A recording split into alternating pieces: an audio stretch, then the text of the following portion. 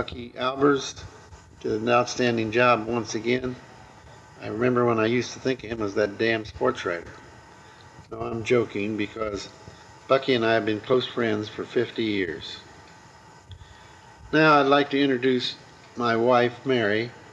We just celebrated our 60th wedding anniversary last week. Next, our son David and our son Dan. Dan's wife Sheila is with him. Uh, our daughter Sally Parker is in, still in Florida. We have three grandchildren here Brian, Lauren, and Eric, all Ankneys. In fact, we've had 12 Ankneys that have graduated from Fairmont High School. Now let's get started with the track team. Will all the track athletes please stand? Let's give them a round of applause.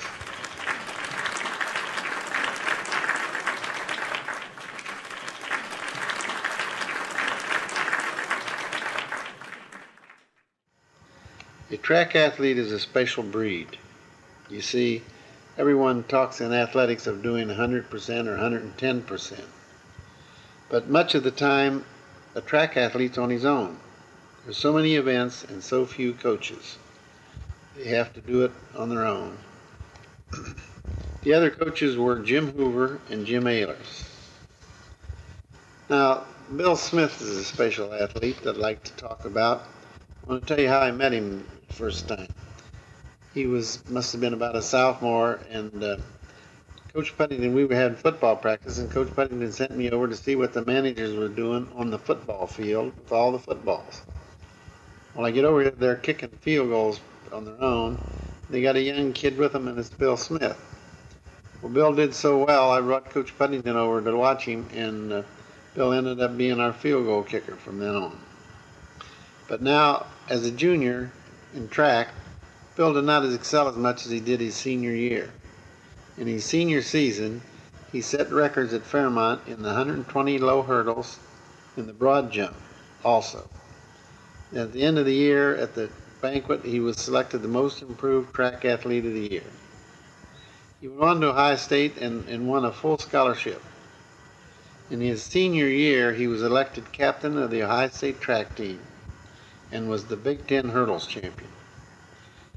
Later, he took up the decathlon while at Ohio State, and after that, uh, became one of the U.S. track team members and became the third best decathlon man in the United States.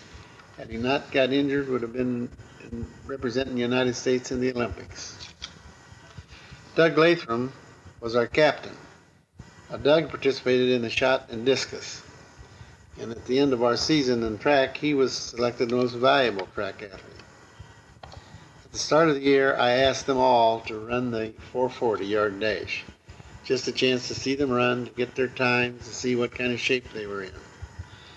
Doug happened to be running alongside of Trouble Garrett and Jim Goschel. And uh, Jim and, and uh, Trouble were just kind of cruising along, and all once Doug thought, well, hell, I'm the, I'm the captain of this team. I better finish right ahead of these guys. So at the end of the the meet, he sprinted ahead of them and won the little race between those three. Really, this was his only claim to fame as a runner. Doug went on to Ohio State and participated in track with Bill Smith while he was there, Ron Fightmaster, and John Zeisler. One day he was out running on a track and just happened to be running right next to the great Paul Warfield, a great track athlete and a great football player you all remember. Doug was just running in tennis shoes, not track shoes. It just so happened that the head coach at Ohio State, Larry Snyder, who was the United States Olympic coach in 1960, saw Doug running with Warfield and thought he looked like a runner. So that night he made sure Doug got new shoes and got to give him new shoes to run track in. John Zeisler's here today, and although he's in the class of 59, he, he wanted to say some things about the track but uh, he ran the 440 and the half mile. And one of the things he remembers most of all is uh, once at the Troy Relays, we put together a 4 by 100 relay team that set a Troy Relays record that lasted for 18 years. This track team, actually at Fairmont, set six individual track records. Bill Smith in the low hurdles, Bill Smith in the broad jump, Doug Latham in the discus, Chris Carroll on the 880 yard run, Glenn Bartlett in the high jump, and Martin Pere in the mile run. Now, Barry Weaver tells me he ran the mile faster than Martin, but there's no record to show it. For the season, this track team did some unusual things. Let me just tell you this. They were undefeated in dual and tri meets. They won the Xenia relays. They won the Troy relays. Finished fifth in the Great Dayton relays. Dayton relays is a tough place to participate. At the Miami Valley League Championship meet, we went into the final event one half point down. Our mile relay team had to come from behind to win. Not only win that race, but win the Miami Valley League Championship. So congratulations, track team, a great, great team and a great, great season. Thank you very much.